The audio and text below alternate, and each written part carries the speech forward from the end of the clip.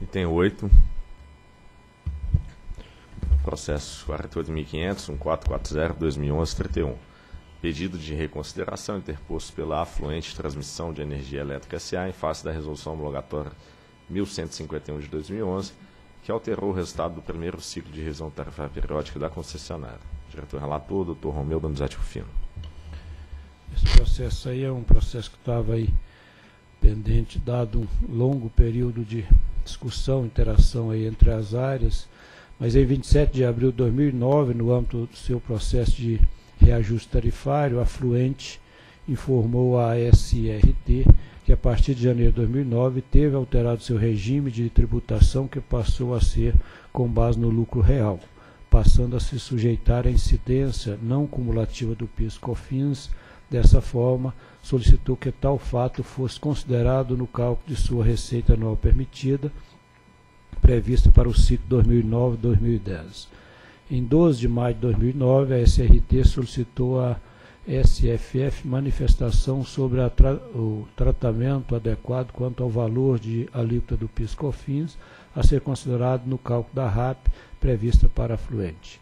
Em resposta, a SFF recomendou, por meio de memorando, é, que nada é, relativo à questão tributária fosse alterado quanto ao cálculo do reajuste anual da RAP da transmissora. Assim, em 25 de junho de 2009, a RAP para Fluente foi estabelecida por meio de resolução homologatória 843, considerando que essa era tributada pelo regime cumulativo. Cabe destacar que nesse processo foi contabilizado o montante de 144 mil, pouco mais que isso, a ser devolvido pelo agente devido à consideração equivocada do regime de tributação da empresa nos três ciclos anteriores. Em 2 de julho de 2009, por meio de ofício, a SRT informou à Fluente que a análise quanto à incidência cumulativa ou não cumulativa de PIS/COFINS se daria somente na primeira revisão tarifária a ser realizada após a assinatura do contrato de concessão. Em abril de 2010, a Fluente afirmou, eh, firmou o contrato de concessão para a prestação de serviço público de transmissão em decorrência da segregação das atividades da Coelba. O resultado da primeira revisão tarifária periódica da Fluente foi homologado pela Resolução 1007 de 2010. Nesse processo, considerou-se que a concessionária encontrava-se sob regime tributário não cumulativo. Em 4 de maio de 2011, a SRE informou a Fluente que, em seu processo de revisão tarifária, foi considerada uma alíquota inadequada de PIS, PASEP e COFINS, sendo que a correção dessa situação para o regime cumulativo conduziria à redução de sua receita requerida.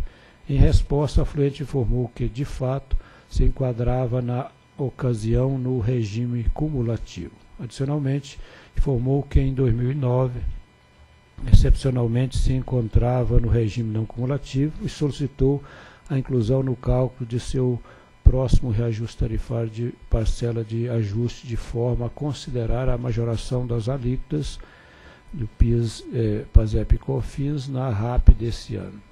Em 7 de junho de 2011, por meio de resolução homologatória, foi alterado o resultado da revisão tarifária da Fluente. A situação descrita está resumida no quadro apresentado a seguir. Ou seja, essa, essa dúvida, ou essa confusão de não cumulativo a cumulativo, a tabela mostra aí, e na verdade a tabela mostra que não acertamos uma, né? Quer dizer, no regime considerado não cumulativo 2006 até 2010, exceto 2009, e no que foi o regime efetivo é exatamente o oposto, né?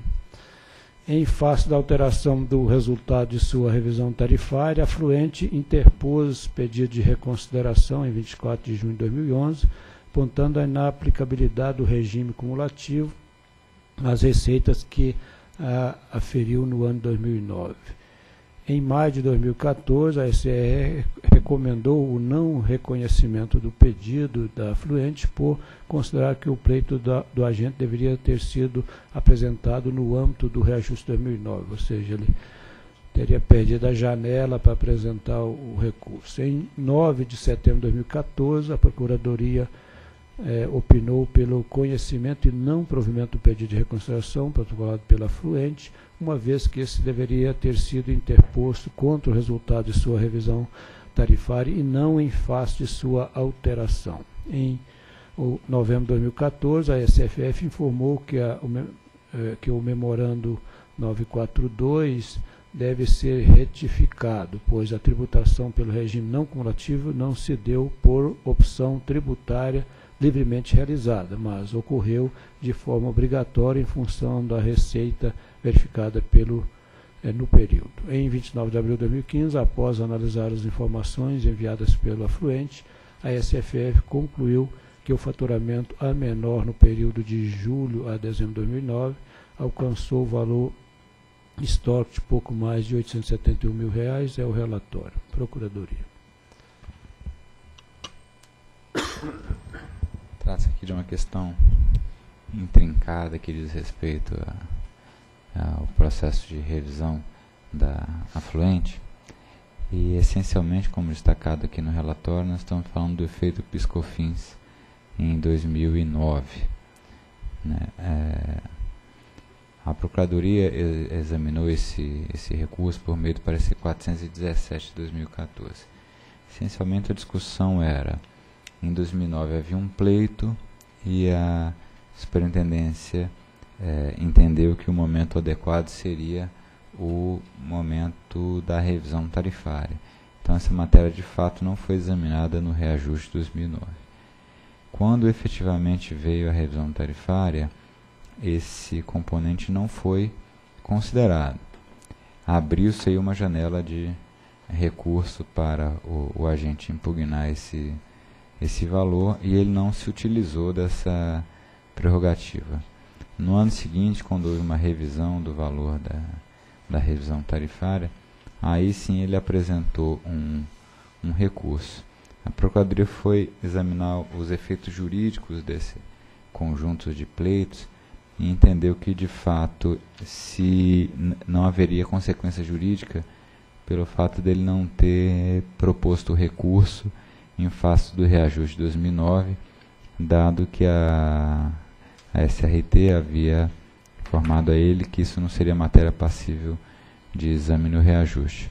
Contudo, é, de fato, no, por ocasião da revisão tarifária, seria o momento em que ele teria que ter feito a solicitação, não o fez, entendeu a Procuradoria que houve preclusão do direito de pedir esse, esse efeito tributário aí do ciclo 2009-2010. Por isso, a Procuradoria opinou pelo conhecimento e desprovimento do recurso. Bem, a fundamentação, a análise aqui é, é na verdade, o que o doutor Ricardo muito bem resumiu aqui na sua manifestação. Eu vou, portanto, fazer só um comentário resumindo que, de fato, é, sugere que tem mérito que ele solicita, mas houve a preclusão porque ele não apresentou o recurso na janela, enfim, no período que ele tinha direito a apresentar o recurso, e aí eu estou seguindo essa visão da área e da própria Procuradoria no sentido de não assistir razão ao agente por ter, é, é, enfim, por ter é, perdido esse tempo do recurso. Né? Então passo direto aqui ao dispositivo. Do exposto que consta do processo, voto por conhecer e não dar provimento ao pedido de reconstrução interposto pela empresa Afluente Transmissão de Energia Elétrica S.A., face a resolução homologatória 1151-2011, que alterou o resultado do primeiro ciclo de revisão tarifária periódica da concessionária. Próximo item. Item 2, processo. Arthur. Ué, não tem voto? Desculpe. Se foi monocrático, tudo bem. Não, meu perdões aqui, eu tô, tô aqui acostumado a não relatar, e aí eu achei que eu já. É, é força do ato, perdão. Voltando então aqui à, à fase anterior, é, em discussão e em votação. Com o relator. Também voto com o relator. Também voto com o relator. E olha que eu não sabia o voto dos demais relatores.